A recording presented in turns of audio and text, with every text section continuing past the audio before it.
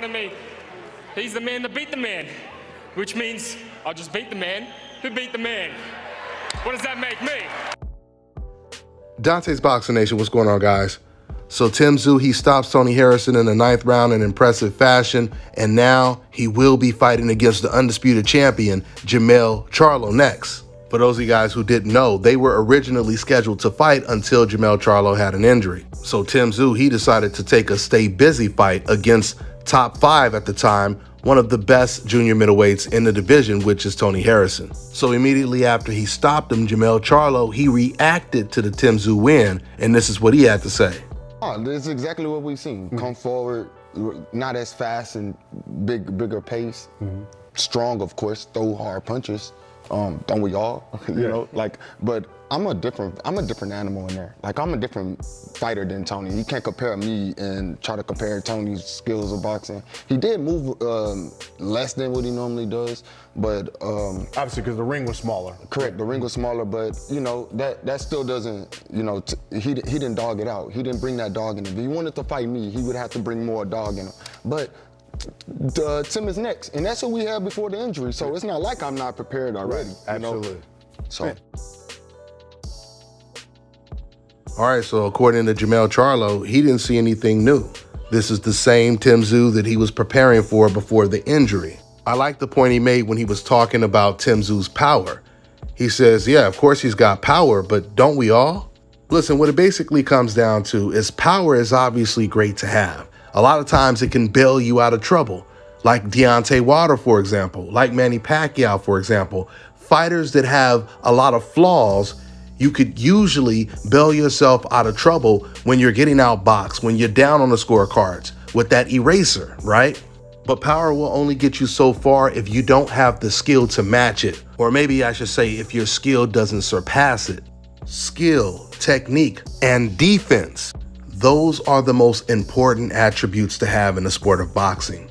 This is the reason why Ryan Garcia has said on multiple occasions that he believes Devin Haney is the most dangerous fighter out of the bunch when it came to Teofimo Lopez, Gervonta Tank Davis, and Devin. It's the guy with the least amount of power that they feel is the most dangerous, not the man with all the power, which is Gervonta. Speaking of power, since I have this clip playing right now, Castaño was someone else who had a lot of power. And we've seen how that turned out. Jermell, he also talked about uh, speed, saying that he was slow. Now, that was something that I didn't pay attention to, but of course, Jermell Charlo, he could see things through a different type of lens with his experience. There's no doubt about it. You definitely cannot compare Tony Harrison to a Jermell Charlo. Jermell, he can do it all. Tony Harrison was extremely uncomfortable on the inside with Tim Tszyu. And I think that when it comes to Charlo, he's going to be extremely comfortable. I think there's going to be times in the fight where Jermell is going to be trying to walk down Tim Tszyu.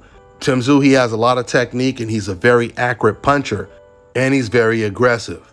And a lot of times, fighters that are aggressive, they don't like fighting on their back foot, meaning when they have an opponent that's actually forcing them backwards. Tony Harrison tried to mainly rely on his jab.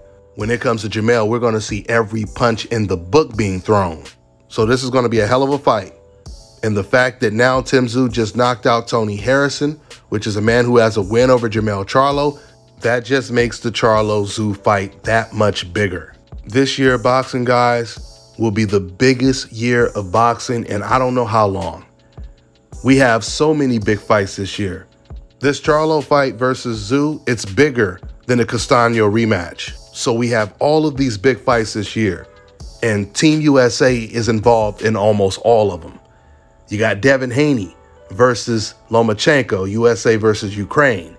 You got Stephen Fulton versus Inoue, USA versus Japan. You got Gervonta Davis versus Ryan Garcia, USA versus Mexico. And now we're going to have USA versus Australia, Jermell Charlo versus Tim Tszyu. I'm looking forward to it.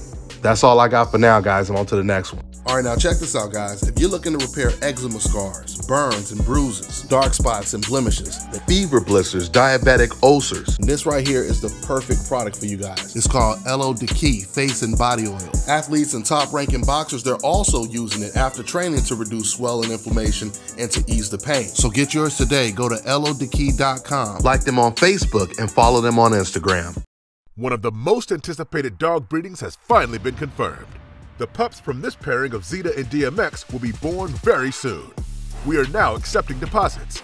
Our pups will come with ears cropped and a two-year health guarantee. Get ahead of the pack on purchasing a puppy by contacting NWA Cane Corsos on Instagram at NWA Cane Corsos. Call or text 479 326 1603 with any questions. A guard dog is your first line of defense. These will be the right pups for the job. Let me tell you guys about Issa Israel Law Firm. It is a full service legal practice based in Denver, Colorado, an emerging hub for combat sports and high altitude training. If you're a fighter inside or outside of the ring and you need a law firm you can trust to fight for you, Visit thefighterfirm.com or email help at iilawfirm.com. Legal representation is usually limited to plaintiffs or defendants in Colorado, but iFirm can help anyone in the world with trademarking their business name, logos, and U.S. immigration issues. This brother has been my attorney for a while and helped guide me through all kinds of business and civil issues. So make sure you guys go to thefighterfirm.com.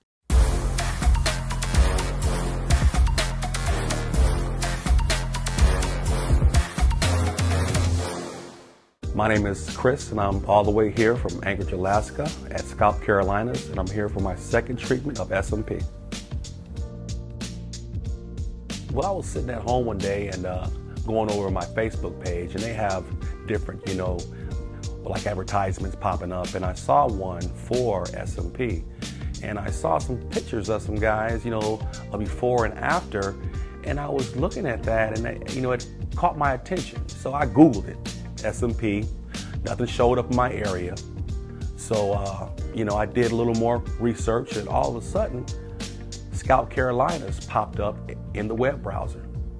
So I started uh, watching his videos and uh, seeing all the reaction from all the other people. We talked on the phone, we made appointments and everything. I sent him pictures and uh, uh, he looked at them and I was like, can you fix this? And, uh, you know, he pretty much said, no problem. My first session, uh, he made me feel extremely comfortable. Uh, it was almost like I was talking to family. He started and uh, during the whole, whole treatment, we talked and, you know, about our families and our life and, you know, and things that he does and things that I do. And before I know it, the first session was over. When you see someone doing something that they love, uh, as much as I see Enoch Glover love what he does, uh, it shows in his work. I wouldn't point anyone in any other direction but here to North Carolina, Scalp Carolinas, to get this done.